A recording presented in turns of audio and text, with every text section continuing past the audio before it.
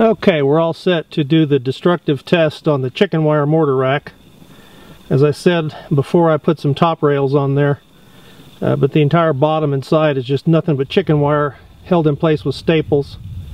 I've got my hardwired mortar rack here, which I've showed before. I put my speaker terminal there on the end. I got 15 feet of 22 gauge stranded speaker wire running over to the Cobra module. There's an Excal in there upside down with the Talon clip on it. There's the Cobra right there. A little bit of safety equipment in case we need that. So uh, let's put the camera on the tripod fire this up and see what happens.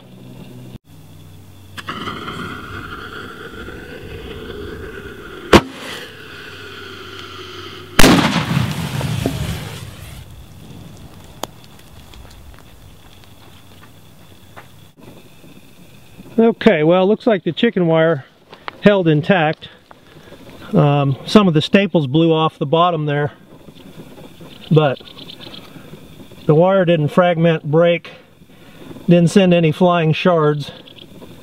Let's take a peek at the other side.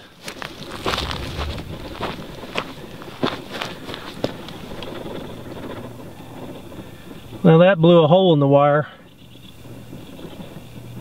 I'll do a little search and see if there's any wire fragments.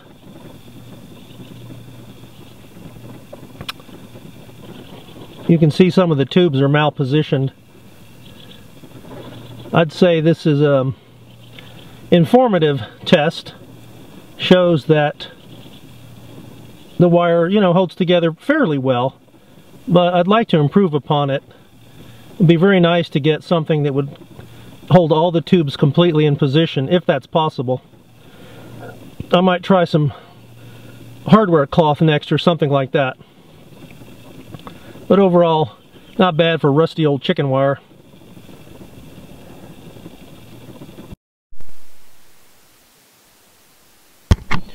Let's take a more careful look at the aftermath of the uh, chicken wire destruction test. I don't know how good the video shows, but I went to the side where the chicken wire had a hole blown out of it and I reconfigured the wire back into its you know proper configuration. And indeed there are a few pieces actually missing. So there was some wire fragments that blew out. That is something people were asking about.